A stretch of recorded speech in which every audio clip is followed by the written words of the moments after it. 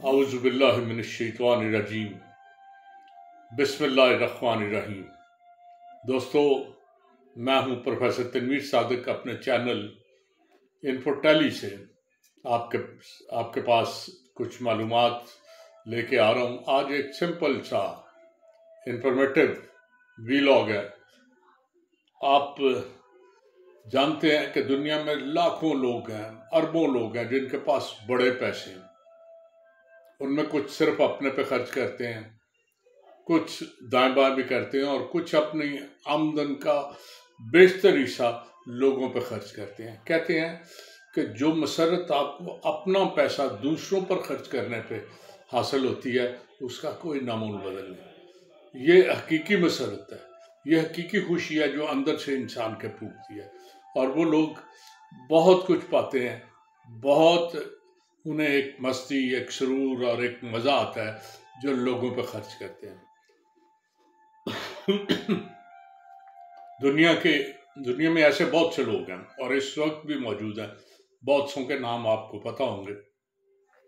मैं ख़ास तौर पे आपको एक नाम बता रहा हूँ। बिल गेट्स बिल गेट्स का नाम आपने सुना होगा। ये शख्स अमेरिकन था। 28 अक्टूबर 1955 को ये वाशिंगटन में पैदा हुआ वही पला बड़ा वही इसकी उम्र गुजरी।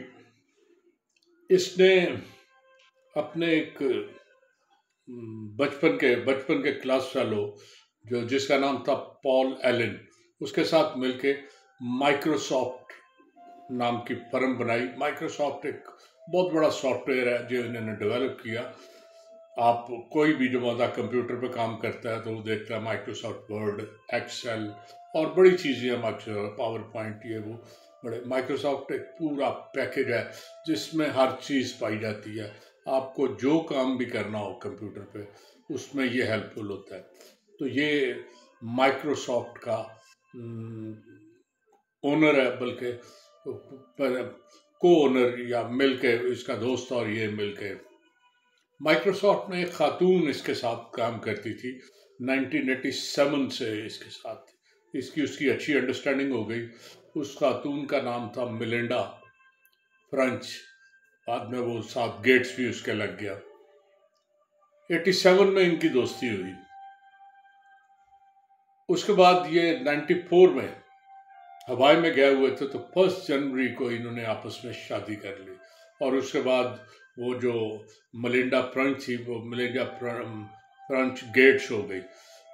वो भी इसी की तरह बड़ी मुखैर और खुले दिल की खातून थी, जो लोगों पे पैसे खर्च करके खुश होती थी।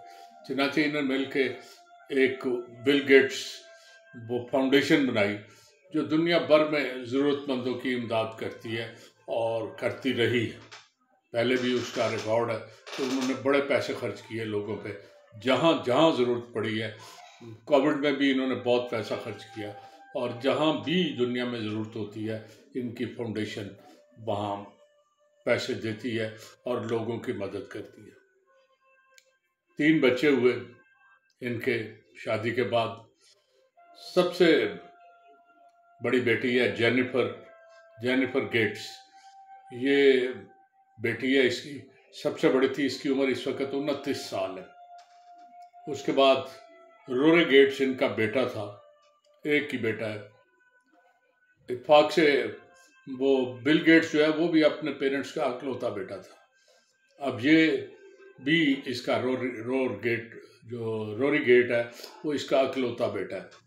बेटी एक और हुई, वो फोबिया गेट्स। फोबिया गेट्स जो है, वो इस वक्त तेईस साल की है। बेटा पच्चीस का और सबसे बड़ी बेटी उनतीस साल की है। वो बड़ी बेटी बिहाई भी हुई है। चनाचे उस हवाले से ये अब ग्रैंड फादर भी हैं। दोनों मियाँ बीवी ग्रैंड मदर एंड फादर भी हैं, नवासे नवासियों के होते हुए।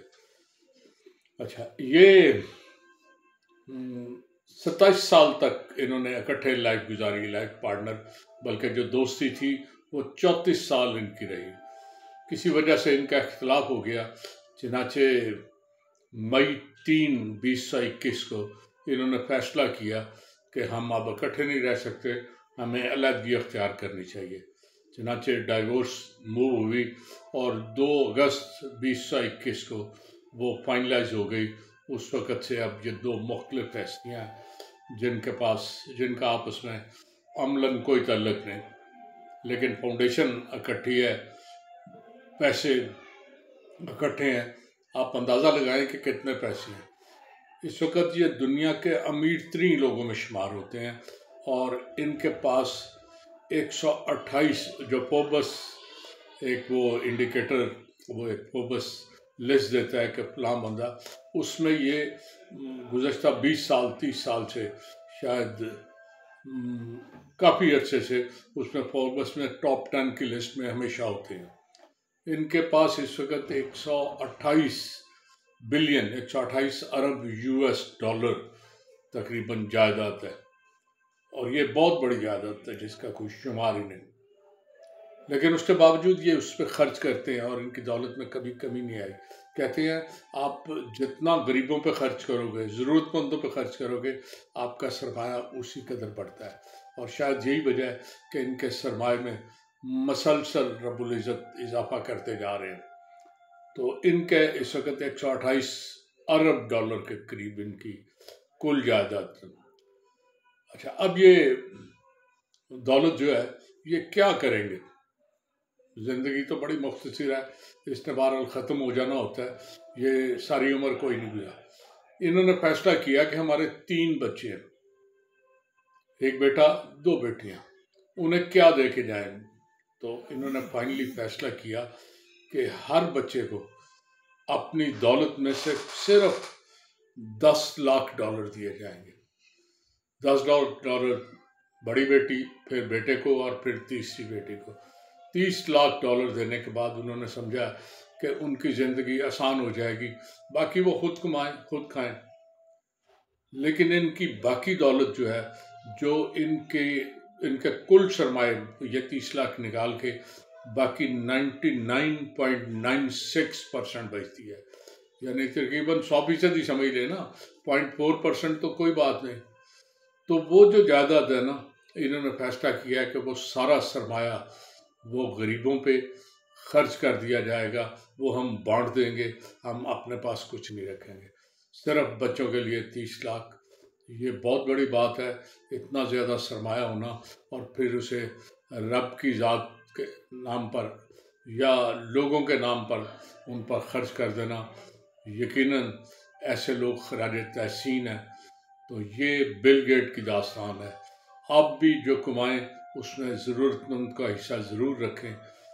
ये यकीनन यही अब असल बचत जो आपको हासिल होगी। इजाज़त चाहूँगा, अल्लाह